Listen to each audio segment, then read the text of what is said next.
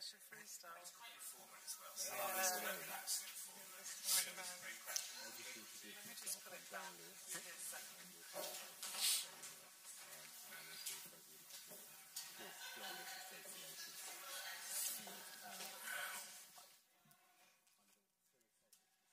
But the real stars are It's just got the, on their way. she's, she's taking your advice. She's put it back. yeah. The chat will be around about half an hour, and then after the chat, there'll be about 15, 20 minutes for questions. Please do give your questions. There's so much knowledge with these two that it will it will spark so much off, even though you don't think you will have questions. And sometimes the most basic questions, Lester Holloway over there, hello, how are you, sir? Um, are, are, are the ones that can provoke the most insightful answers. So please do engage, um, respond. There's a way too much knowledge next to me not to do that. I'll hand over to you then.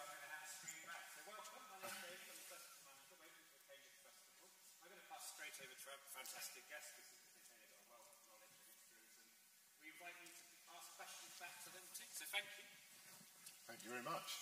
Uh, well, it, it is a very special conversation with two very special, inspirational individuals, um, if a little cold.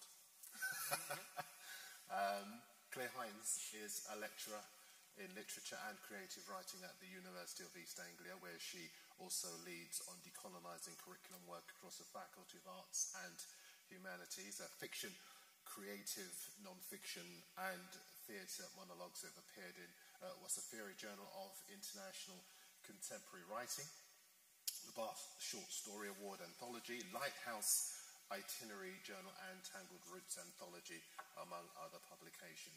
It's also won and been shortlisted for national awards. In 2022, uh, she, you presented the BBC World Service documentary My Granny the Slave in connection with her research about an enslaved ancestor in Antigua. Uh, she previously worked as a BBC documentary filmmaker and as the news editor for black British newspaper The Voice. Um, and her media work has won National Creative Industry Awards, including a George Viner Memorial Award for Journalism, a CRE Race in the Media Award, and a Royal Television Society Award. Welcome, Claire. Thank you.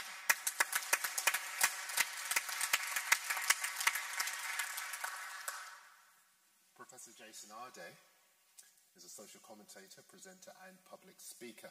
He's currently the 2002 professor, pro- professorial chair of education at the University of Cambridge, making him the youngest ever black academic to hold a professorship at Cambridge and one of the youngest academics ever appointed to a professorial chair in Oxbridge's history.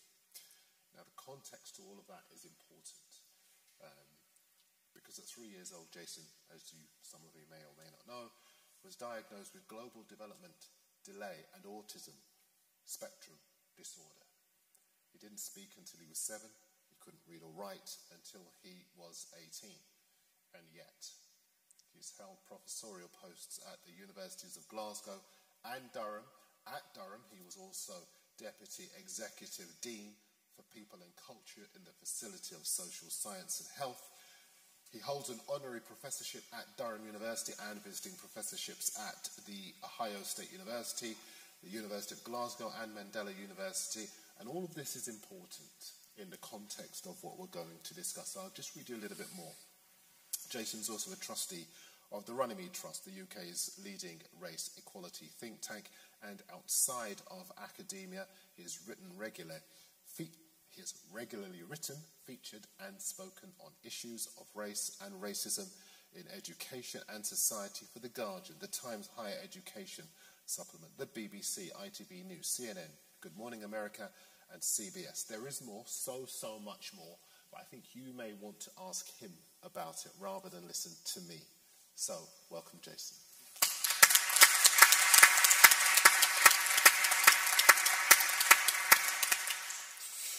Now then, I did think about how best to approach this chat.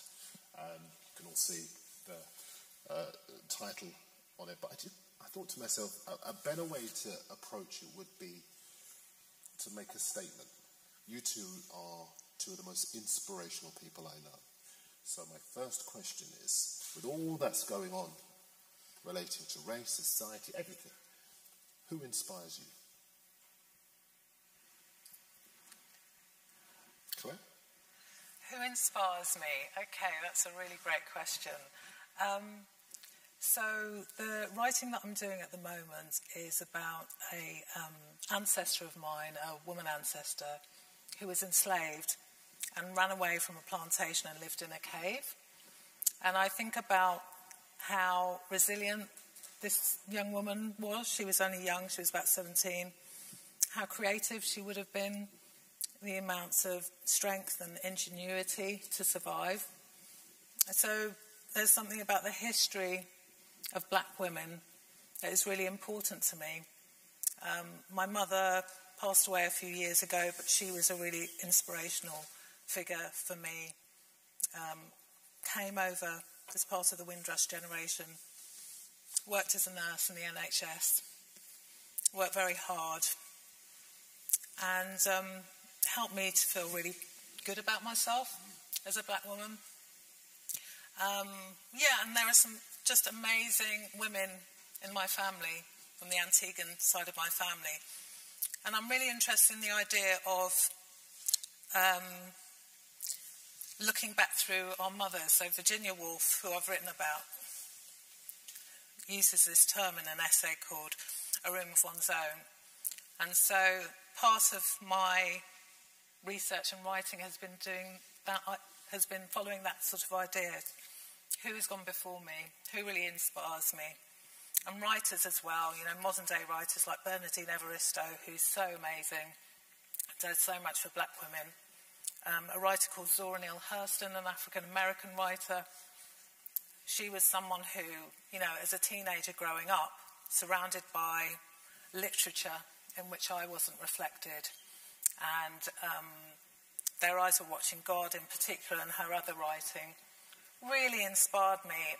And her use of language, black language, her love of black culture, it filled me with a sense of power and respect in terms of who I am and who's gone before me. Mm, and that's so important, isn't it, Jason, to be able to get that kind of inspiration that, that drives you and helps you to understand yourself. Who inspires you? Hugely, no, and I think Claire points to some amazing people. Um, Claire herself is, is immensely inspiring, and I guess. I'm glad you said that. Yeah, hugely inspiring, um, as, as well as yourself. Um, and I had the privilege of watching you on TV in some way, shape, or form, listening to you on radio for 20 years. Um, it's quite surreal to be sat here with you now. Um, to be honest, I, I'm always inspired by the mundane. Like um, my, my, dad always said to me, there's a beauty in the mundanity of life that you don't experience when you're kind of wrapped up in the razzmatazz of what you would like life to be. So um, I was very fortunate to have experiences where I had not that long ago, probably eight years ago, cleaning jobs and working um, nights at Sainsbury's. Um, and the people that I was inspired by were the people who kind of would always say things to me like, remember, Jason, you're very fortunate. Out of necess- necessity dictates that I have to do this for a living, but you have choices. And um, the one thing I never underestimated um, was how much courage it takes to get up every morning and to do something that you actually may not want to do, but because necessity dictates so, you have to do it. And um, there are so many people who do.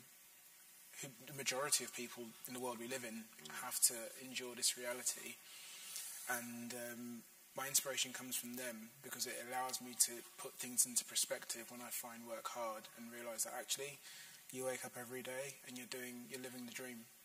Um, and hard work doesn't necessarily mean that you're going to get what you deserve out of life. And so the other side of that is luck. And, and I've been very very fortunate. And it's the same fortu- fortuity and luck that has sat me in this position with you both tonight. Well, thank you for that because um, you're right both are uh, very inspirational figures um, for many, many people. I'm going to go with one, if, um, if I'm allowed, um, because I, I'm going to mention Diane Abbott. I love the outpouring of support and emotion for her and the, statement that that support made.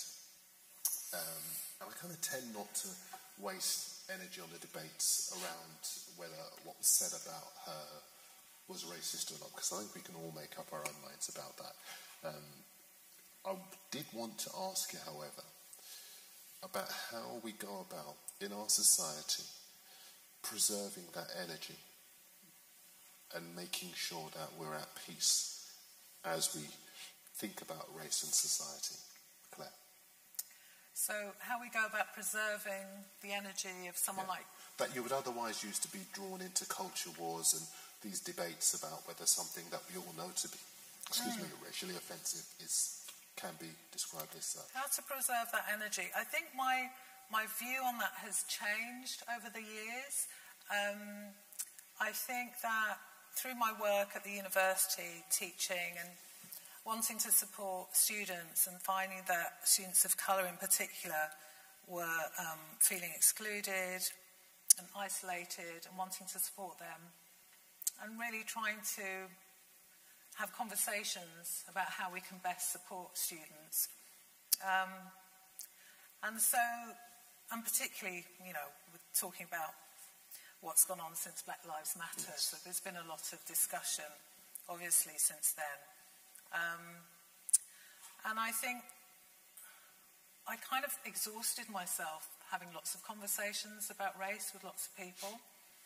And, um, and I remember when Reni Eddo-Lodge's book came out, Why I no, no Longer Speak to White People About Race.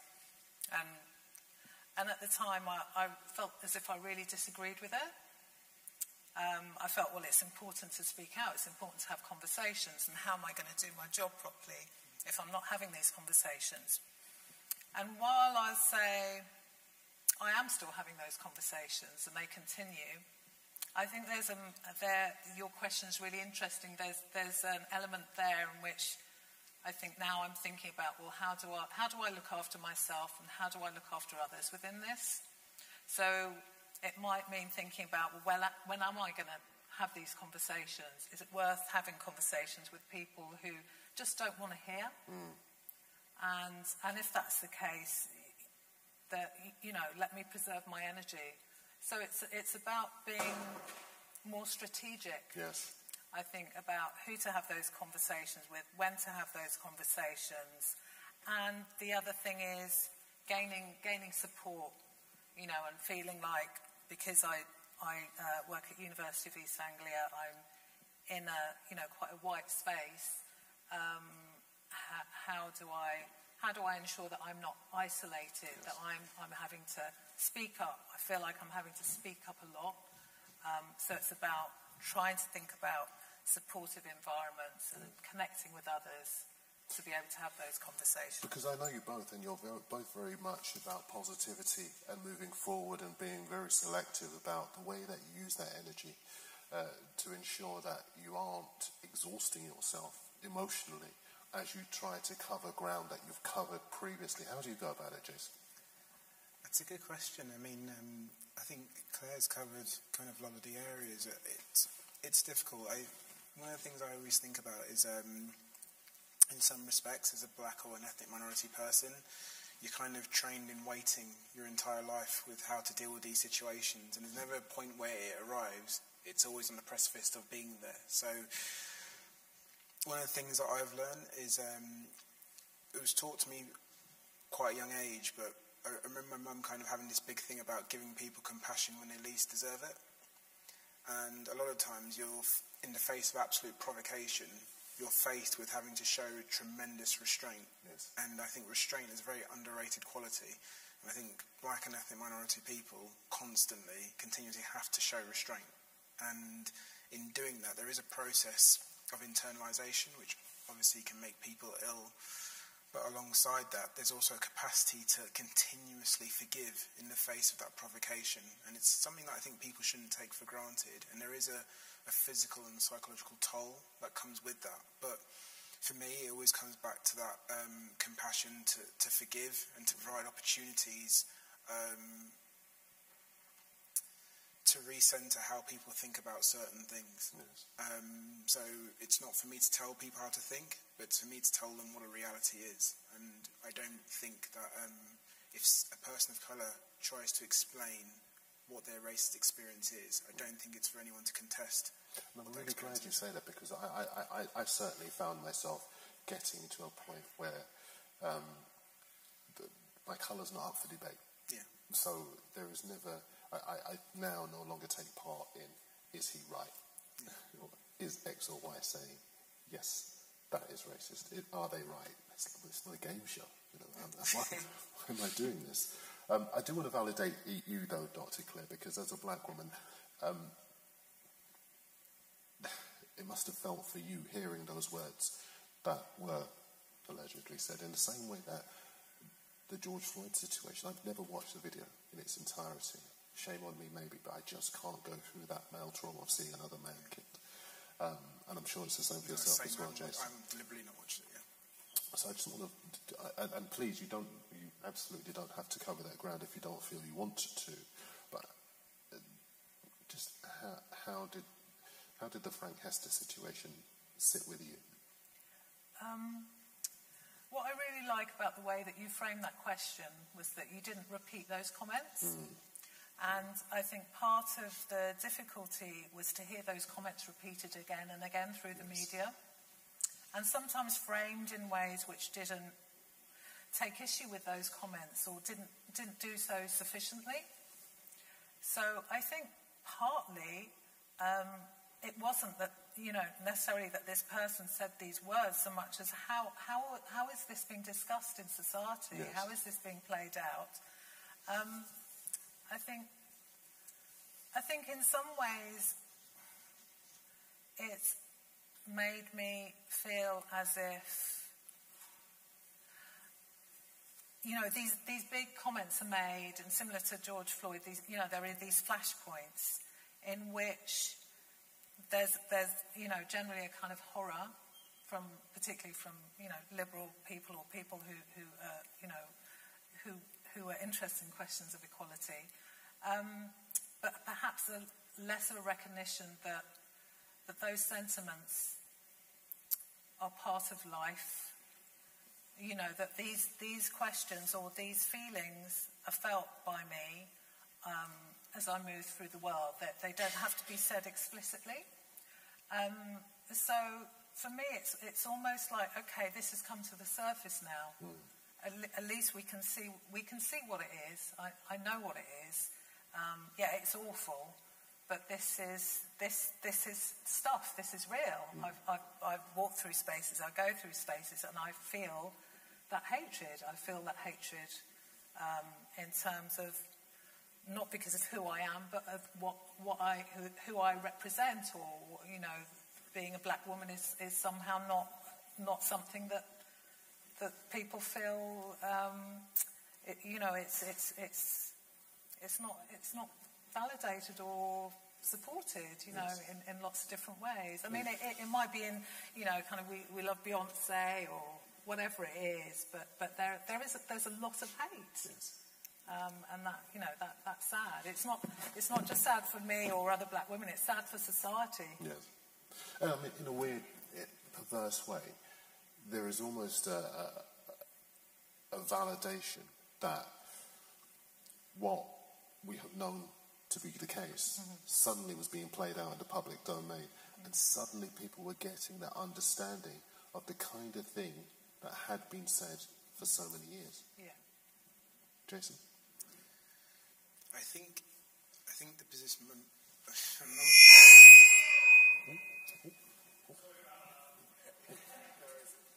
um I was the only one that didn't flinch. Did you see that? um, so I'm deaf in one ear. That's why I don't. Um, I was going to say something that um, my mum has always said to me is that the position of black women in society is always permanently precarious. Yes. Um, and part of that permanent precarity normalises the trauma that is inflicted upon black women. It's just normalised. That people don't even flinch, really. Um, that's the concerning part. That people just see it as normal discourse. They don't actively try and disrupt it. you know, you can have an apology, but not really an apology. Yes. Um, you can have consequences in play, but they don't really exist. Um, you know, you can have really even Keir Starmer not not really condemn the comments in its full entirety because at the current moment the whip's been taken off Diane Abbott and you know there's some of these things that are kind of quite difficult. And yes there are reasons why the whip was taken off but actually it's about thinking how do we demonize black women within society? And part of it is it's kind of it's organized it's almost like an organized racket. It, it's just it's so normalized. What I find really disturbing is um, the fact that it's not disrupted through any form of legislation, policy, you know, um, societal commentary. People just don't disrupt it. But I know that you two, and this is going to be a theme throughout this evening, you are both very much about positivity. And one of the things I found to be very positive, uh, and we'll, we'll come back to this later on in the chat, but social media has disrupted it because social media has given rise to real power in the voices of the people who have pushed back, male and female, black and white, against what has transpired in relation to this. But also, in answer to the question, over the past four years, we've seen the rise of a number of platforms where black voices can feel empowered to push back against the orthodoxy and against situations just like this. And that must give you reasons for optimism. Yeah, I think that, that rearguard action, I, I think it's always existed through many many forms, you know, through many civil, there's been many incarnations of civil rights, black civil rights activism, and there's always been a pushback, that pushback has always existed.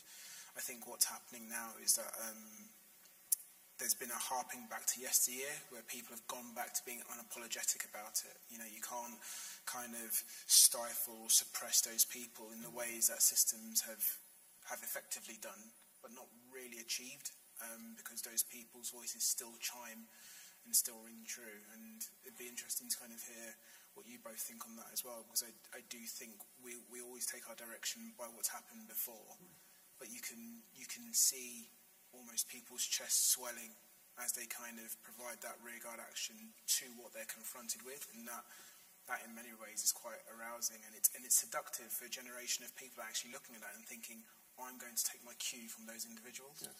Claire? I think what I found really heartening was um, social media, or my social media, not that I do loads of social media. Um, don't do it, don't do it.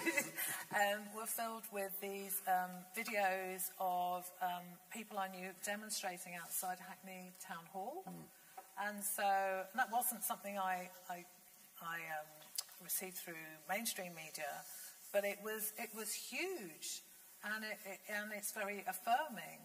Um, so, yeah, you're, you're right that this idea of, of kind of galvanizing people into action and, and really saying, no, you know, we're not taking this.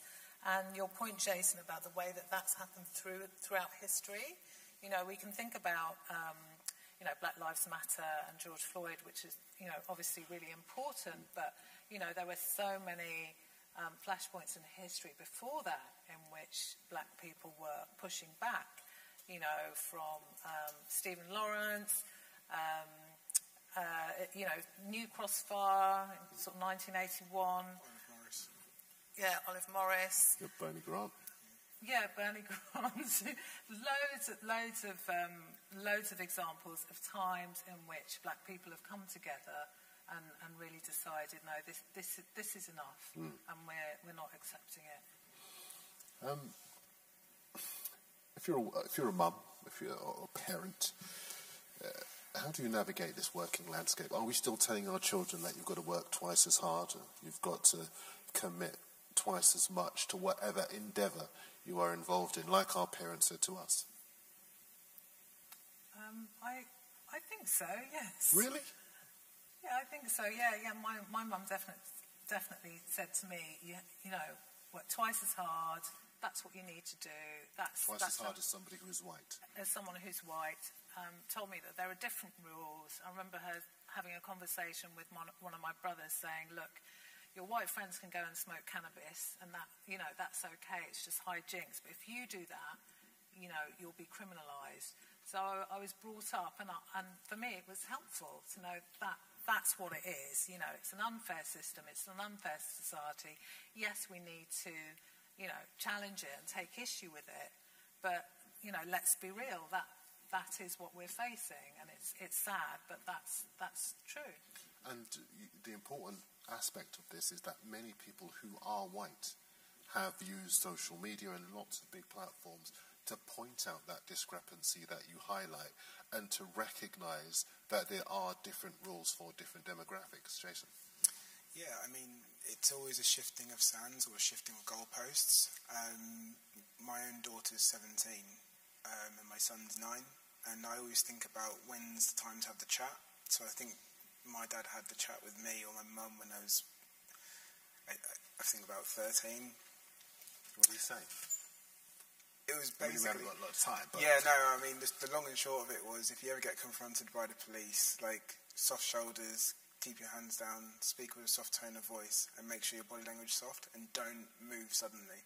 Wow. Um, and, it, and it stayed with me my whole life. People always say you're really softly spoken, but that's what I was told to do it. Take yeah.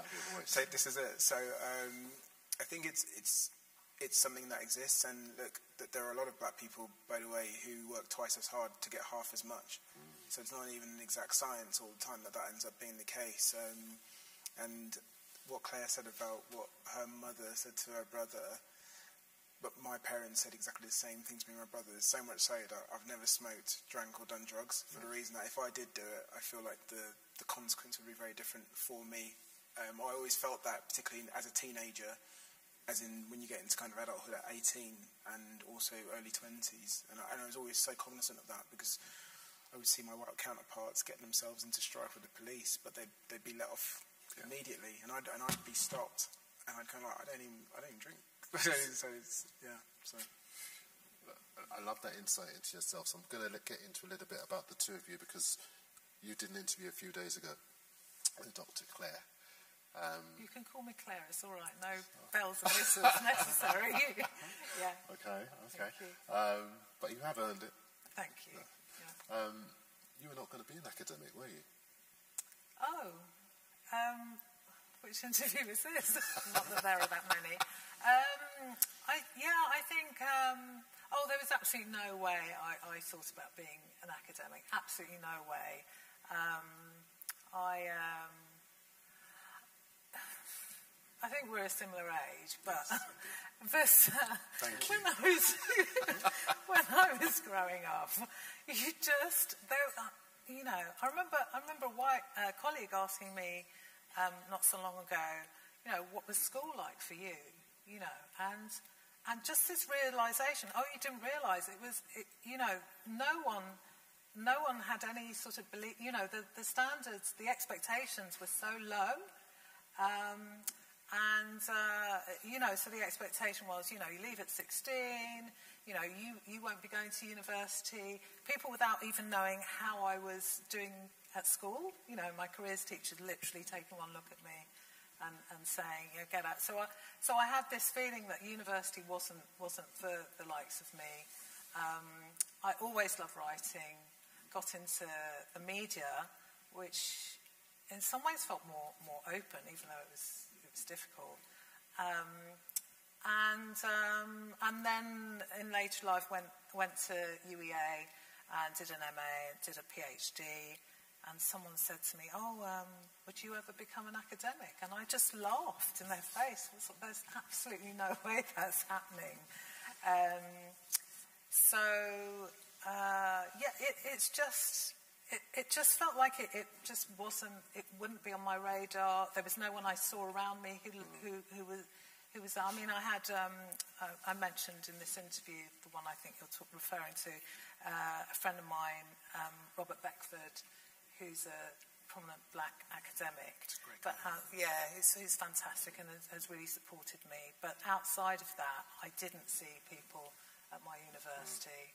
Um, so so yeah, I, am just amazed that I'm here. I'm still like, oh my gosh, I'm, see, I'm, Dr. Claire, am I? Absolutely, really? but you yeah. should own it, and it's yeah. the reason why I, I, refer to it as doctor because yeah. the, the, it's not just academic work that has gone into that; mm-hmm. it's emotional, societal work that has gone into it, defying the odds. And when we talk about race in society, the difficulties that you have to surmount, the obstacles that you have to get past to be where you are. Is it true there are 61 black professors out of 26,000 across yeah, the country? 20 out of 23,000. Yeah, that's right. Yeah, so the, the, the numbers are really, really low.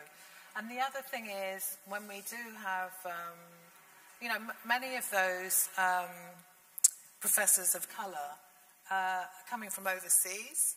Um, so the fact that we're, you know, we're Black British academics, I think, is is pretty pretty fantastic. But yeah, we definitely need more Black women um, coming into academia.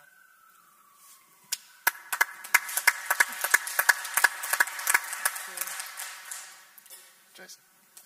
Yeah, I mean, Follow that. No, I, I don't. I don't intend to. I'm about to. Claire's brilliant. Um, it's it's yeah, it's twenty four thousand professors. Um, the number's two hundred and ten black professors. Sixty one are black women. Um, yeah, um, black women outnumber black men in the academy by two to one. So you know, there's some brilliant research that's been done um, around the lost 300 so it's the 300 black women that should have been mm. black female professors and how they've been denied, which is why, you know, we really need to continue to interrogate these structures because what we can't continue to, the, the, the academy is not blessed with, you know, abundance and abundance of kind of uh, amazing black academics. And the reason why I say that is because there's so many obstacles in place for them to even get there in the first place. Yeah. So the ones that we do have, it's really important that we find ways to ensure that they end up where they need to be because there are too many people that have fallen by the wayside through systemic and institutional kind of through the apparatus of systemic and institutional racism which is which I've been unapologetic about saying and that's always been the case especially for black women in the academy so I think that's something that we kind of really need or at least in my work I'll continue to address but we, we do need to address that uh, I, I wasn't going to ask this, and I, I know we don't have a lot of time. Where's Mandy? Is Mandy? How long do I have, Mandy? Five minutes? Anyone want ten minutes, fifteen minutes, or do you can five, ten minutes? Just a little bit more time. Okay, all right, okay. I'll, I'll, I'll take time. I'll be very quick with this one, but very often, uh, one of the things I find people say is, "This is the way we've always done it," and so it's not necessarily sinister or what we would characterize as racist, but they would just say it's the way things have always been done. Do you think there is that complacency, or do you think that um, there is we live in the real world, and some, at some level there is a willingness to uphold the structure, as we put it. But what are your thoughts around that? And either of you can take that one. I, I understand the idea when you don't know better, you don't do better. Yes. But I, I think when you do know better, it becomes a choice. And I think far too often, people actually do know better and they make a concerted choice to not do the right thing. And I think as a society, we, we would do better to actually interrogate why people choose to make that choice. Of course, free will allows individuals to do what they like, but I think free will at the expense of the humanity of another individual needs to be questioned and needs to be challenged. And all too often, I think we've we've assimilated in, into this culture where it's okay to oppress particular minority groups without challenge, and and, and that I find that staggering. Yeah. Claire. Um, well, I was thinking about the question in relation to um, universities um, this idea that, okay, there's a particular tradition, there's a particular way of doing things. Um, and, um, and sometimes uh, the idea of kind of diversity is pitted against sort of educational excellence. Part of teaching excellence is about um, changing, changing styles, approaches, content. So we don't teach in the way that we did 100 years ago. You know, we don't necessarily have everything as being kind of, you know, we're the experts, we're just kind of going to force it on you. You remember things and, and tell it back to us and write an essay. Yes. It's discursive, there are different ways of doing things, different ways of engaging pe- people, um, you know, use sort of creative methods. So, so the ch- ways in which we teach have changed, but the content needs to change as well. You know, so there are different views, different perspectives, different ideas. Um, so, and if, if we stay, if we stay, if we do things exactly the same, same way, it, ju- it just makes it, nothing in society stays the same.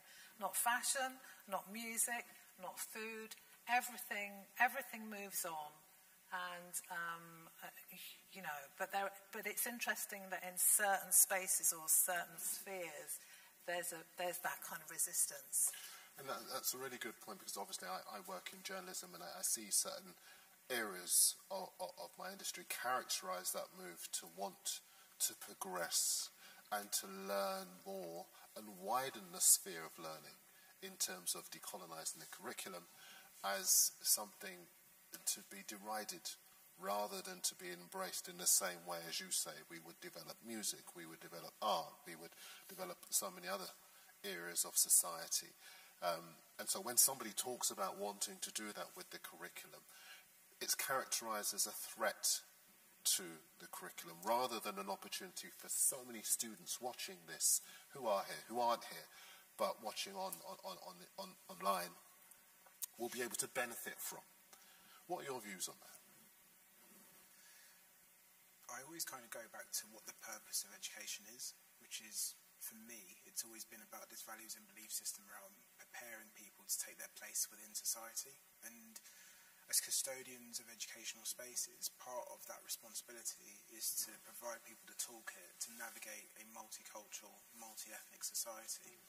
And I think all too often in education, I, I, often question how well are we equipping people to go back into society, to go into society, to be able to navigate a multicultural, multi-ethnic society. And I think that always has to be the premise, because fundamentally, being able to navigate a society like this requires huge level of diplomacy, it requires an accepting of difference, it requires an accepting that actually people experience kind of intersectional inequalities and what might that look like. It requires us to kind of sit in an empathetic space, you know, to kind of stand or at least, yeah, stand alongside people in capacities of allyship, whatever that may be across the intersectional spectrum. So I think those things are important and I think it is really important, particularly with race, because there is a normalization with racism and a nostalgia about how things used to be um, and almost this kind of I don't know, like this this kind of colonial amnesia. And if you're not colonially compliant, then the next thing that accompanies that is, well, if you don't like it, you can leave. And I, and I think it's it's important. We we're better than that. Yes. We're better than that, and I, and I think we need to move beyond that because actually, it's to everyone's advantage to understand that actually the best way to navigate difference is to have an understanding of where we've come from, where we've been, and that allows us to think about where we're going. Absolutely. And in an interconnected world now, as digital media allows us to be, there is an even greater emphasis on needing to have that understanding. Claire? Yeah. Um, yeah, we definitely need we need to have that we need to have that understanding.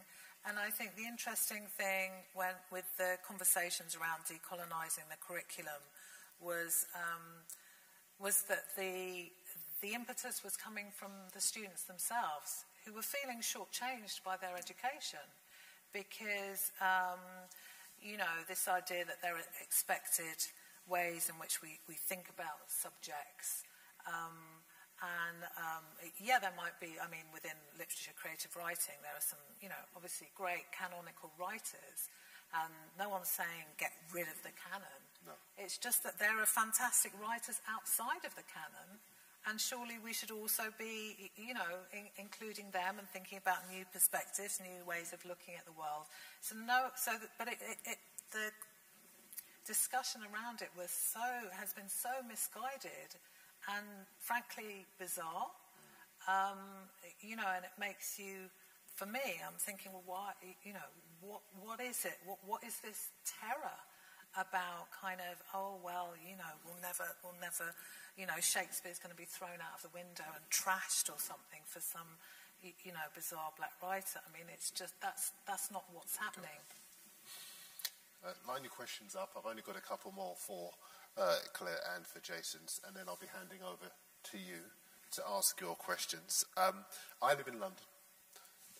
Dr. Claire, you live uh, in East Anglia, and you're in London as well, aren't you, Jason? Thousand percent. Thousand percent. Um, does your understanding of racism depend on where in the country you live? In 2024. I think so. Um, and this is actually working here is the closest I've worked to home, which is London, um, South Clapham, South London. And I worked at several different um, places um, in the north, um, and including Scotland. And I think understandings around race are completely different, based one on diaspora and populace. So the further up north I went, the smaller percentage of, of black and ethnic minority people there were. So I worked at Durham for three years, for example, and in the northeast, um, 98% of the northeast is, is, is white. So it's, it's a very small populace of, of black or ethnic minority people there. So understandings around that in some respects are still quite embryonic. Um, but there was a willingness um, for people to kind of learn more in terms of what that may have looked like, because obviously what what the northeast was populated by was um, five institutions, and two in particular at the University of Sunderland and Teesside University and Northumbria, sorry, three that had huge kind of um, South Asian populaces at those um, institutions. So people were beginning to understand a bit more about what that was like and how that transpired. Um, and what I would say is that being spoiled, you know, when you're brought up in London, you're spoiled in some respects. Um, and I hadn't appreciated that until I worked in Liverpool, Leeds, Durham, Scotland, Glasgow to be specific. Um, and it, it, it is different. It is very different. Um, but what, what is interesting is you go to a place like Liverpool, for example, that has this rich, incredible history um, not just for the sport, but it was also um, a, a port, a, a, a, a colonial outport. And how they engage with that history, there's always been a tension around how yes. they engage with that history. Um, but then you go to kind of L8 and you meet people within those areas and you learn more about kind of what the kind of Toxteth riots meant and how it kind of simulated across yes. the UK at the time, you know, in terms of in the Midlands, you know, in, in Tottenham, in Brixton, etc. So it, it is different, but what's really interesting in all of these places is that everyone has their unique story to tell about how they've negotiated or navigated race and racism and kind of diaspora in those spaces. And in some respects, it's um, it's hugely inspiring, but it does always make me feel very grateful that at a time when my parents first came to the UK, as a black person, as an immigrant, you didn't have a choice about where you where you were placed. And, and I grew up on a council estate, and I'm very aware that I could have been moved to any, I could have been moved to parts unknown. And it's it's but for the grace of God that I was very fortunate. My we not only did we we were brought up in London, but we stayed in London when actually at times, you know, that wasn't always necessarily going to be the case because in the mid 90s, black families were being moved all over oh, the UK. Claire. Um, so, well, as you noted, I, I live in East Anglia, um, Norwich, and um, so yeah, experiences of racism are different there. I think when I first moved to Norwich, I moved to um, do my MA um, quite a while ago, and I remember going onto the campus and, and seeing one black student way in the distance and going up to him and saying, where are all the black people? and he said, oh, there were 20 of us. And I was like, oh dear. um, so, um, so yeah, it, it, was, a, it felt like an quite an isolating experience.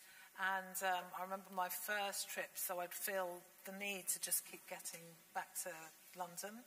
And I would, um, I, I, I remember driving down to London of filling up the boot of my car with kind of plantains and sweet potatoes uh-huh. and hair products and, and like feeling okay, I need to surrounded my, surround myself with this stuff. Because? Um, because because it was like that this is my sort of comfort this is this is making me feel more like you know more kind of at home yes. Um, and, um, and I got involved with sort of Black History Month in, in Norfolk, and I remember feeling, uh, wow, it feels like, this feels like London 20 years ago. But um, there is, you know, there's a, a, there is a small but growing, you know, kind of multicultural community, and um, and I think things have changed over the years. There's, uh, there's a Black History Month tour in, in Norwich, which is amazing, which debunks that idea about Norwich being this sort of white city. Um, you know, black people have been coming in and out of Norwich for, you know, centuries. There's a, there was a, a famous Victorian circus owner called Pablo Fanque who lived in, who lived in Norwich, and there's a student building that um, that has been named after him. So, so it's about, you know, let's change, change up the kind of narratives. Before it was Nelson, you know, everything's like Norfolk, it's Nelson's County, Nelson, Nelson, Nelson Street, Nelson Pub, Nelson everything, which was a bit sort of strange for me because then I go back to, you know, go to Antigua, I shouldn't say go back, I wasn't born there, mm. but I go to Antigua, which I do often, and the whole, there's a whole south part of the island is, is sort of Nelson's dockyard. So I'm like, gosh, I can't get away from this Nelson guy. He's everywhere. So, um, so yeah, things have think, things have changed, but I do I do feel the need to. I go to London regularly. Um, I visit. I've got really great family in Antigua, and so and, and although I'm born and raised in this country, I feel as if um, Antigua is, is another home for me in London. So I keep myself healthy and, set, and feeling good. Yeah. Well, I've got so many more questions around race, pay cap, diversity, whatever else, but I do want to take questions. I will give particular uh, prominence and priority to anyone who's called Nelson. uh, but I'll start over here. I think this is compulsory. Um, I'm intrigued to know what, how you respond to the fact that our government has a number of very senior people of colour. Who would you like to give that question to? Oh. The panel? Okay, who'd like to take that one? Me? uh, okay. How, uh, how do I feel about that? That's um, it's an interesting one. I mean, well, how, do I make sense of it? Okay, I'll make sense of it by saying this: that we need to think about not just the individuals. People are saying, well, how how can how can people who are brown be saying that diversity is, is wrong? How can they be so quick to say that, you know, racism doesn't exist? But we need to think about the systems and structures. It's, these aren't, this isn't about individuals. This is about society, and this is about um, systems and structures and um, the legacy of colonialism that has meant that the, you know, these ideas are in place. And also that, interestingly, all these ideas about, oh, well, you know, diversity and some people are getting advantages. I mean, there was an interesting article in The Guardian that was saying, well, if, if anyone's doing well out of, out of, you know, pushing certain politics which are anti-equality and anti-diversity, it's certain, you know, brown people in, in polit- high political places. You know, how, how, well are they, how well are they doing it? You know, it's better not to get certain people to, um, it's the better perhaps for some people to think, okay, well, you know, we don't have to, some white people don't need to speak up about these things because others well. I've probably said too much now. I probably shouldn't have. I should have let you no, take no, it. No, I'll come in. i have got you. I've got you. like, uh, help me I, out. I help me out.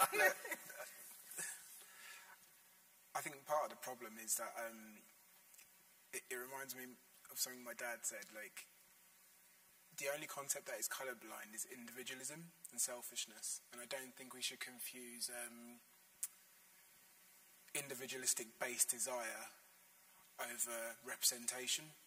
I think that's a very important thing because a lot of um, the parliamentarians of colour that currently reside they are really being used as mules to push agendas that really don't benefit um, the greater good. So, for example, when you have parliamentarians who are, you know, rubbishing things, for example, like critical race theory, or um, saying diversity or kind of as- associating this with a woke agenda, um, the cost for them to say that, the cost to them, I guess when they weigh it up, is minimal in respect to what they may gain politically in careers from a career point of view speaking in terms of the trajectory they face. So I I often tell people when I'm I've heard questions like this before and one of the things that I always emphasize to people is that you know we shouldn't align naked aggressive ambition with mobilizing the agenda of race equality because they're two different things. And that kind of animal instinct that some people have um, where they're happy to exploit agendas to further their own cause is really not exclusive to black or brown parliamentarians. It's, it's something that actually happens in politics full stop, um, as we've seen Boris Johnson do to brilliant effect with the, um, with the referendum campaign around uh, the Europe around Brexit. Can I just ask you before we move on, what's your view on the question that you've just asked? Um, I think it's a terrible situation. If you'd have asked me, bearing in mind I'm now in my 70s, if you'd have asked me 30 years ago which political party would have senior people of colour leading the government, I would have never have anticipated that. So I think it's important not to underestimate the mechanisms and priorities and manipulations of the Conservative Party as an institution. I think there are wider structures completely sympathetic to that. But um, they're quite clever. you know. Well, the, the, I asked for your opinion because the person who microphone's going to go next to is the editor of the biggest black newspaper in the country. I was. Um, was. Not anymore. I'm actually uh, here now in Cambridge uh, University. Okay. Um, but um, actually, just to respond to, to that, that, last point, this is not my question.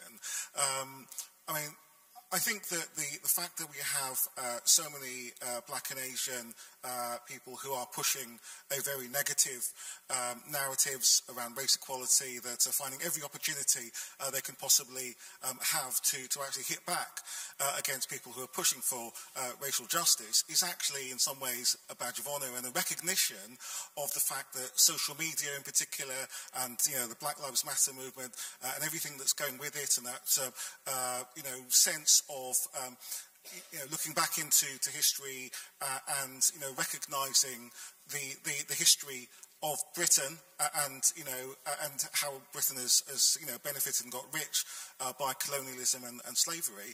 You know those are very live things that are happening on the ground, and then you have a counter reaction. So in some ways, I think we should actually you know recognise actually that this is not a, a, sign of success, but actually a sign of contest, really. But my, my question was actually about um, uh, academia um, and the fact that we have so many, uh, uh, so, so few uh, black professors and, and black academics uh, in, in general. Uh, and I guess my question really is, is about the fact that it feels like there's a real dichotomy between um, you know, people who really in, you know, embrace you know, um, diversity, sort of quote unquote, you know, when, it, when there's no cost. Uh, when, when it's a case of, um, you know, embracing, you know, uh, or even teaching, um, you know, anti, uh, you know, colonial, um, uh, you know, sort of texts and things like that. Um, and uh, there's a dichotomy between that um, and, and actually listening to black academics and being challenged um, uh, by them. And, and that, you know, is a very uncomfortable situation. It just feels like sometimes they can coexist together. Uh, and so in that situation, how do we actually break through and, and make a change there? So, so, so just the, the, the question, what, what, what is the actual question? Uh, yeah, how, what do we do? what do we do? What do we do about that? About what? Sorry, so, so the, the context of that question. Uh, do, do, do, you pick it up? Do you want to pick Just it up? Pick it up. Great to see you, the way. Um, so, in, I think in terms of diversity and diversity in the kind of lecture space or the classroom, the educative space, I think one of the things that's um, that's difficult is that I think for a lot of black academics in those spaces, um, there is a hyper surveillance already there. So a lot of the things that they want to discuss, um, that there is a policing of that, which happens um, through colleagues micromanaging the content and what is discussed, and it also happens subliminally through what students think and say. And sometimes students, you know, it, it can be the tail that waggles the dog, the tail that waggles the dog, and you've you've got this situation where students can make the lives of black academics in particular very very difficult, particularly black women.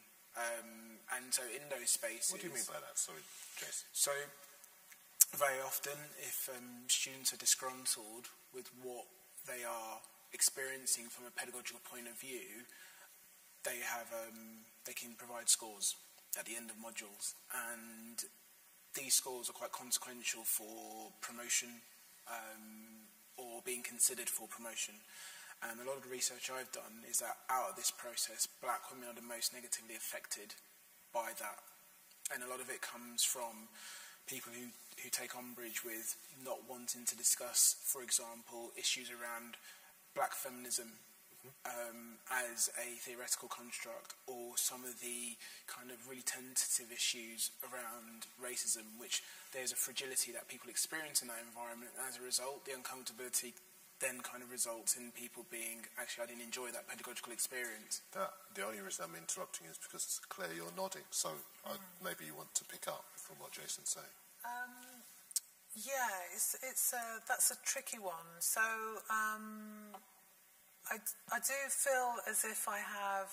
I'm not just saying because I'm uh, employed by UEA. I'm not going to say, oh, it's it's all it's y- you know. I'm not going to speak them up just because I'm employed by them. But I do feel like the um, I feel supported by my head of school. I feel supported by quite a few people, and that hasn't always been the case. So I think it it helps.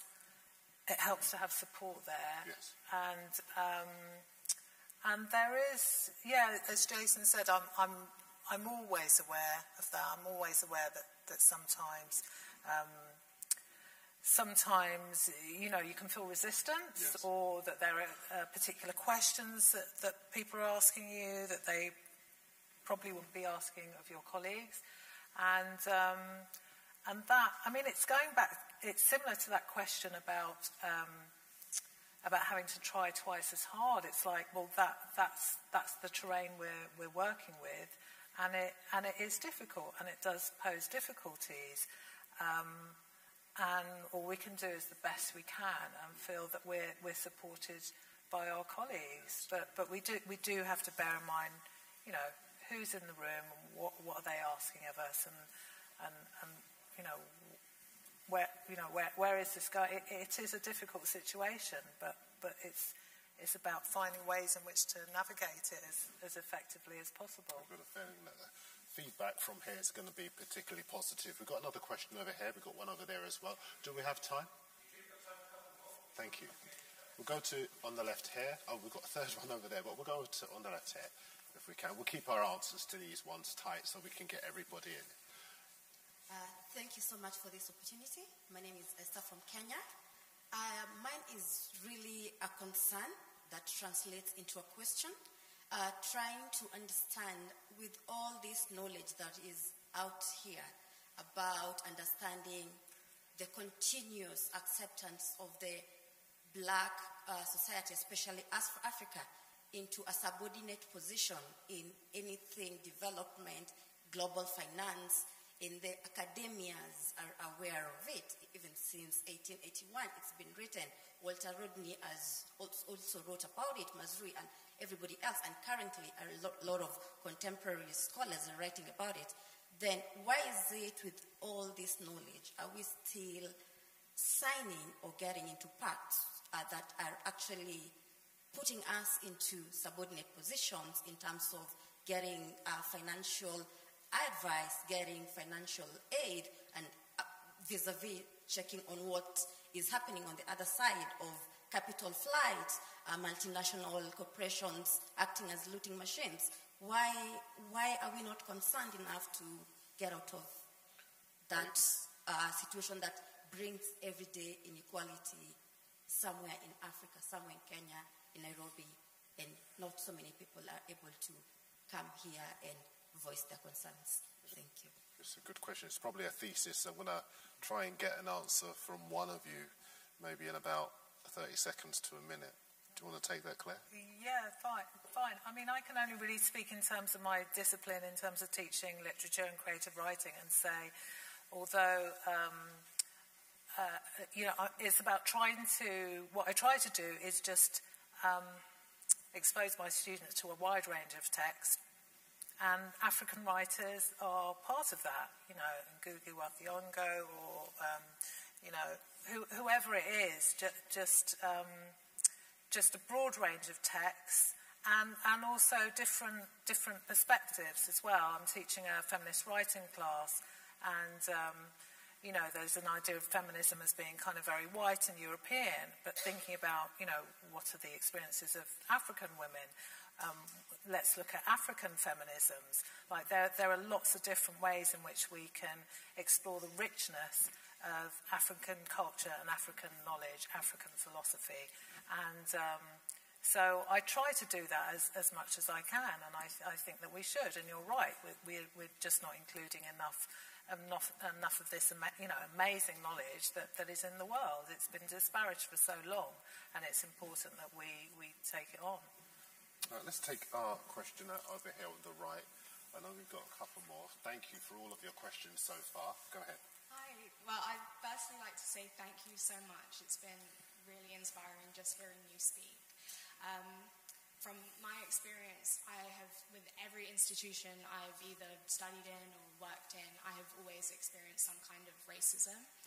And I was just kind of wondering what your experiences were and if you feel like it's necessary to kind of sacrifice defending yourself in, to reach positions of success.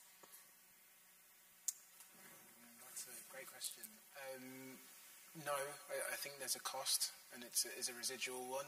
I, I think um, what goes out, what goes in, must come out. So if you know, you can't. It's a difficult thing to suppress over a period of time. But um, I am a really big believer in terms of dignity and how one carries himself. And it's difficult, and that's what I was talking about earlier about restraint. I think um, the thing that we don't have the luxury of, of not being is we, we're always racially ascribed. And with those racial ascriptions, there's a set of stereotypes and descriptions that come with that. So, for example, the angry black woman or the aggressive black male. Like, you just, if I want to be angry, it, I can't really afford to do it in the workplace, which is. Can I ask you if that's the case? Because I, I, agree with you. you know, we're all in senior positions. But, but you're right, there is that cost that comes with that sometimes we might want to express ourselves and we think, well, if we do, we jeopardize our space, we risk our space. But there is a cost to that, and it's an emotional cost because you do withhold it. There is a high rate of mental health issues, particularly with black men. So, uh, is it still the case that we should exercise that restraint, in your opinion, or do we need to, now that we have that awareness, yes, I guess address it differently? When I when I say restraint, I, I think there's the initial ah, like um, and and and I guess what you what you learn to do is kind of think right, how can I get my point across? Um, recognizing that there are all these kind of permutations in terms of how I how I how I place this point or how I verbalize this point. and I think that people should always feel the need to be able to do that. Um, but unfortunately, there is a dance you have to do, and you have to self censor in some ways but I think there's a way to do it. I, I think I would say this, but I think we're, we're magnificent and we found ways of circumnavigating these situations since time immemorial.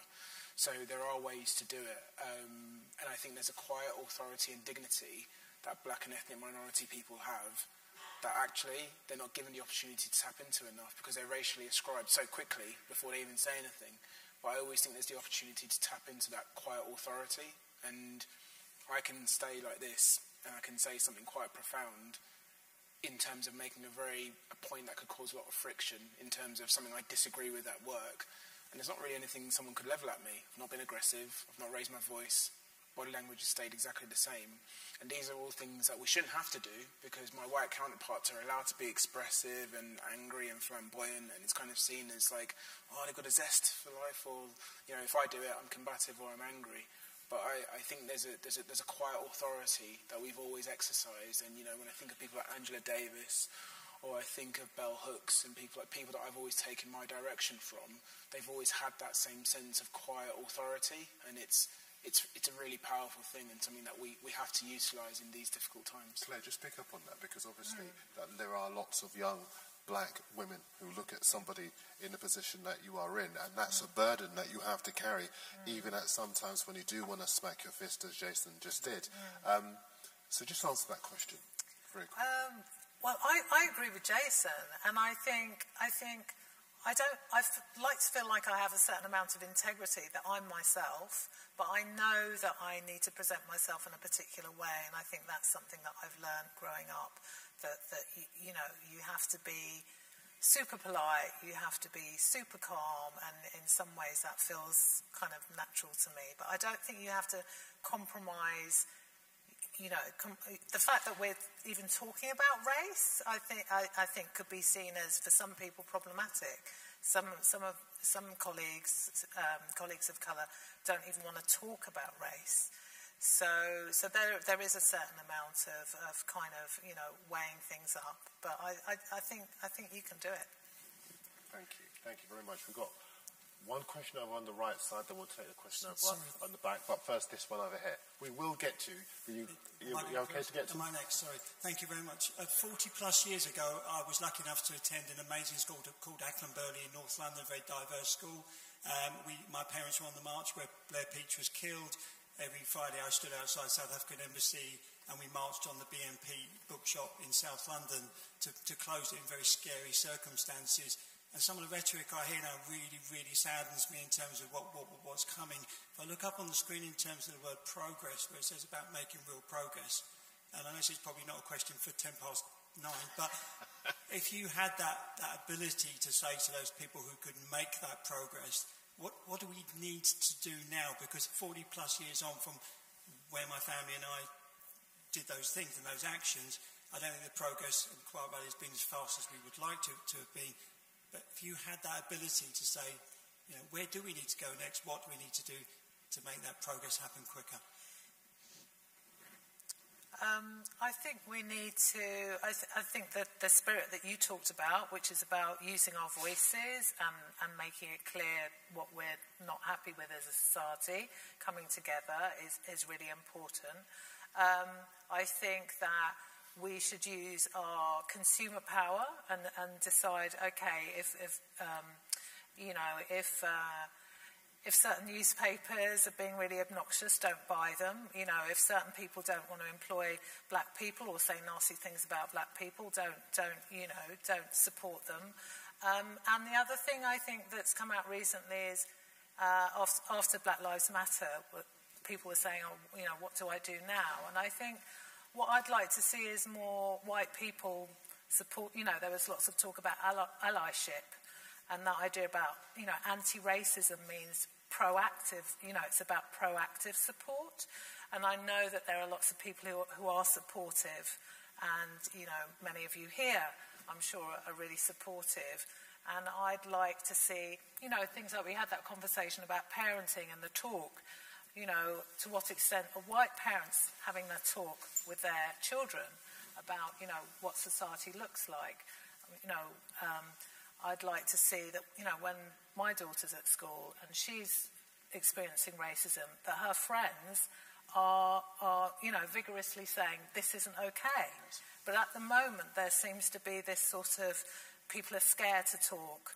Um, and the far right is, is making use of that. You know, that there, there's a fear about, oh, well, if I say this, maybe it'll be the wrong thing, maybe I've um, used the wrong terminology. No, speak out and be supportive, and that will help to, to make changes. Now, I, am going to give you a choice. Do you want to answer that question or do you want to take the next one? Uh, take the next one so okay. that we get everyone in. All right, let's take that one over there on the far right, and then we'll come back to the far left. Afterwards. On the far right and the far left. uh, go ahead. Sorry, just a bit louder, just to get that microphone closer to you. I was going to say there are few people here, and I hope that means that most people feel that there isn't a problem out there, because the things that have brought out people onto the street and where there are placards are obscene things that have happened. And I think most of the population feels that the people that they are and that they live around, that that would never be part of their lives. Most people are good. I think there is a problem here in actually recognizing that we all range from pale pink to very deep pink. And we need to perhaps move forward into the future with different terminology so that we are not separated. There is just a diffusion of color, really, that exists. Um, we need to. You actually attended some of these um, BNF parades that I was too afraid to go to. And I remember saying to my parents, all the white guys are there, and we're the only people who are not turning up because we're just too afraid.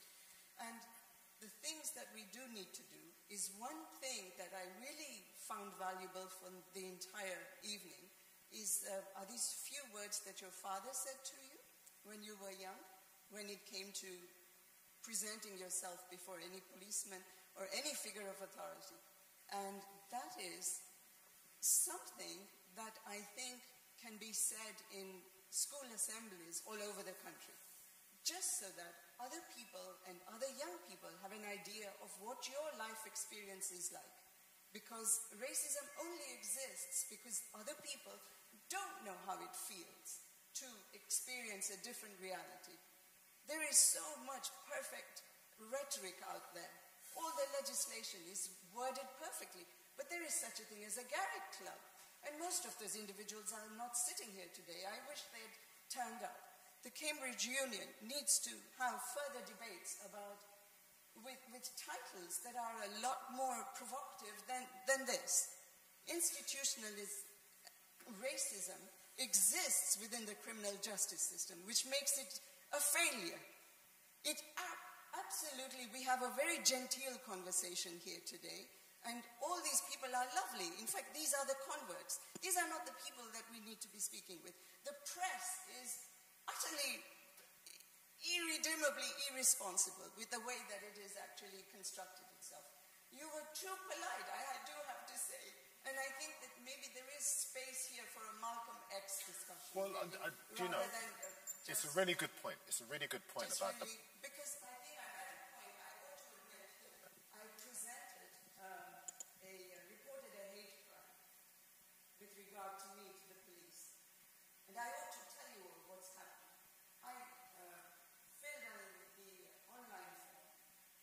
Then I got a perfectly nice email saying that this is your reference number and uh, the reports are very important to us, which is exactly what you would expect would be written in the report.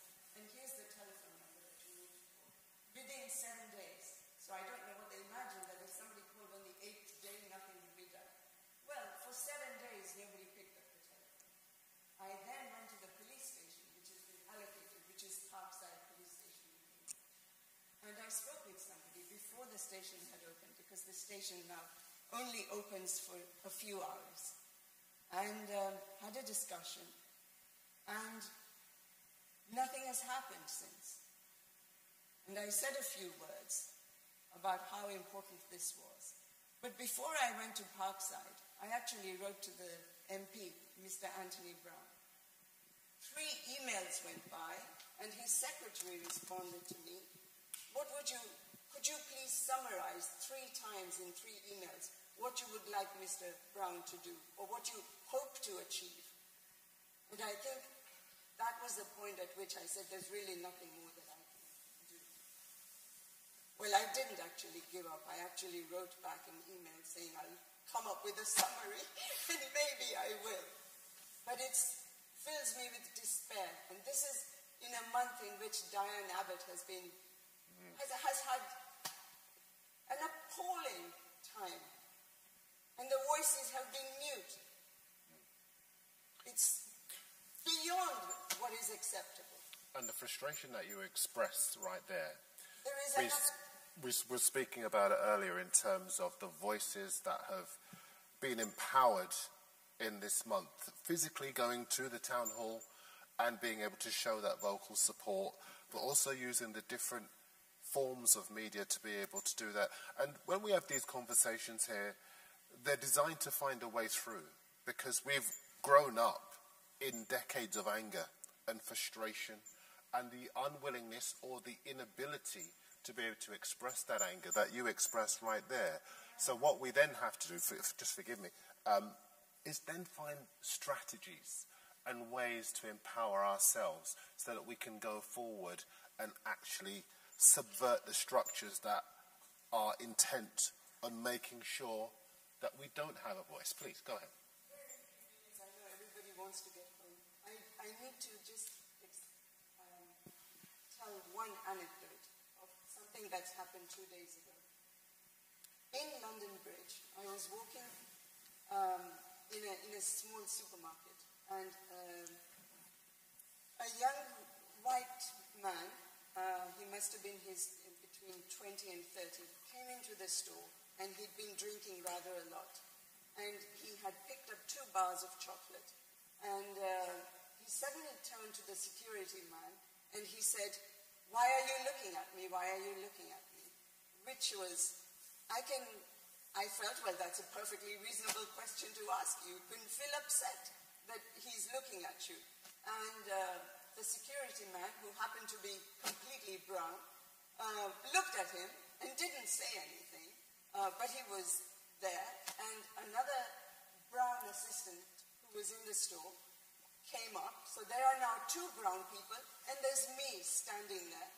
And uh, the white guy came up and he said, You know, it would be different if it was you. What do you think?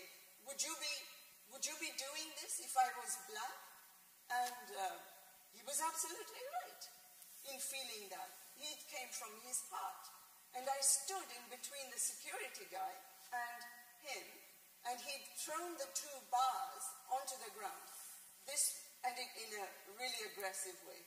And I remember thinking that I've seen this before in another time, in another space, because I'm now 60, when the security man would have absolutely wielded the, the, the guy out through the shops, and it would all have been finished. Turned to me and said, You bitch, what are you doing? And I said, I'm trying to save you. And he was shaken and he said, What do you mean? And I just thought that this could so suddenly get ugly where the police are called and he would be in trouble. And all I had to do was to stop that from happening. It, it hurt me to think that he might get into trouble for feeling what he was feeling with all his heart.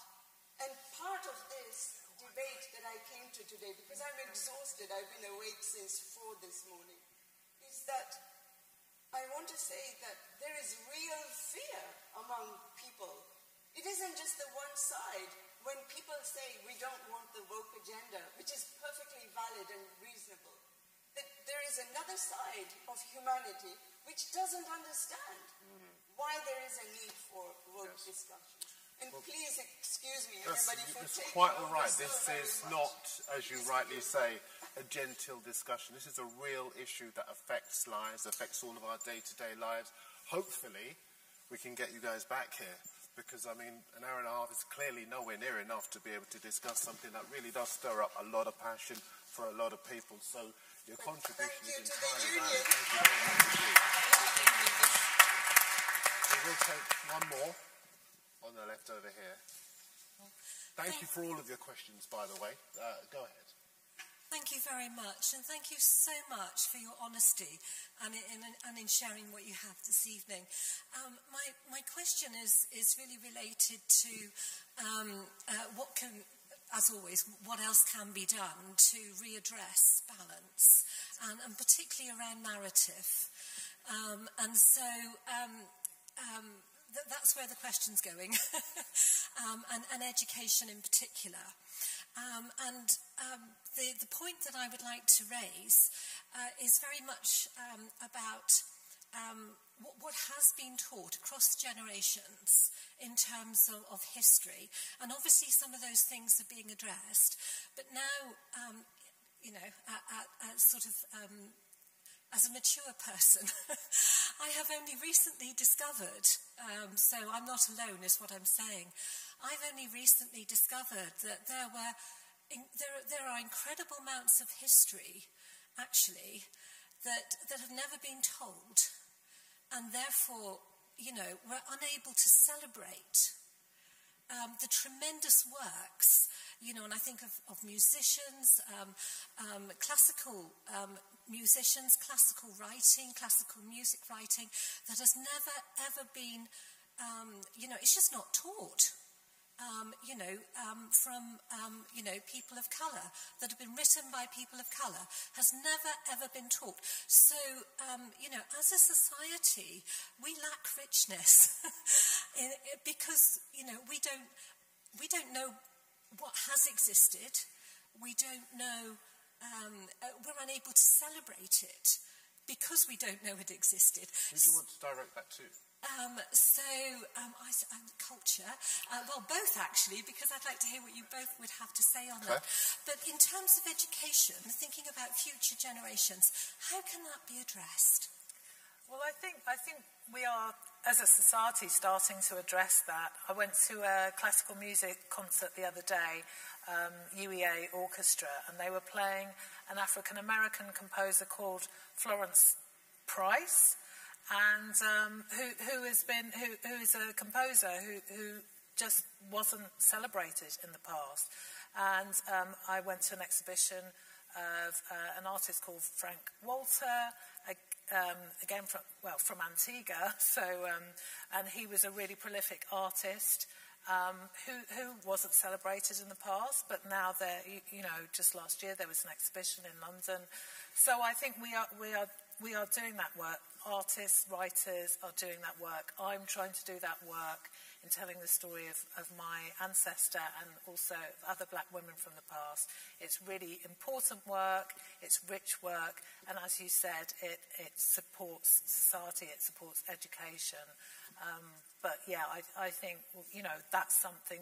And also, these are there are opportunities here for academics, for writers, for, uh, you know, to, to restore and recover these, uh, you know, great people from the past. Jason, do you want to take the last word? Yeah, I was going to say, I think the British historical canon has, has thrived on um, positioning on, on erasure.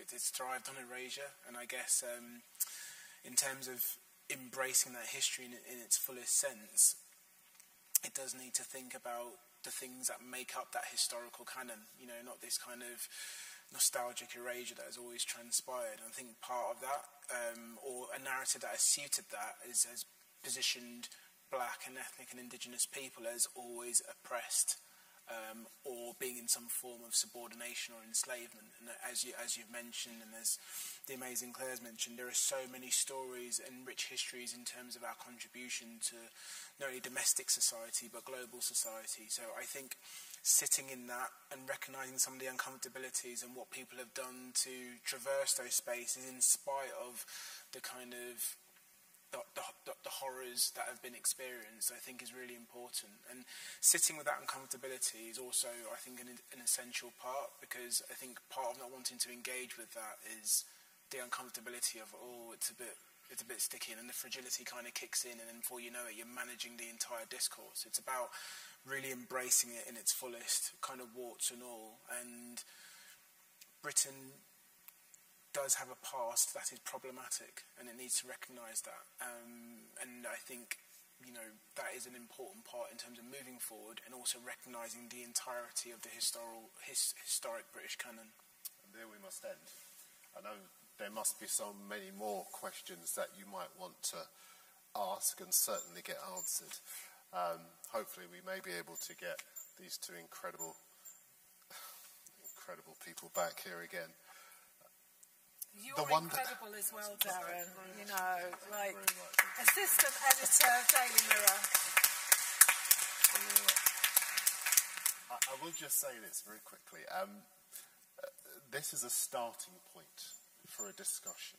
You will never ever get any discussion uh, uh, on race folded neatly into a box with a nice bow on the top. There is too much hurt, too much history, too much trauma, too much day to day lived experience, and too much un- unquantifiable, uh, too many unquantifiable elements connected with it.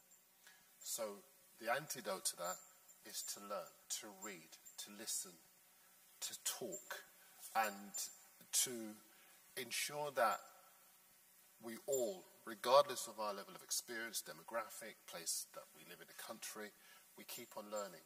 Not just from people who look like us, but from people who don't look like us. So that together we can make strides and maybe come back here and share that learning. With that, I want to say thank you to Jason Arday.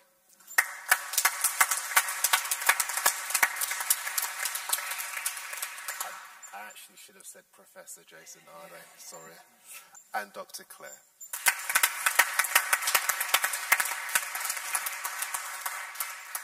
And also to you. Thank you very much indeed.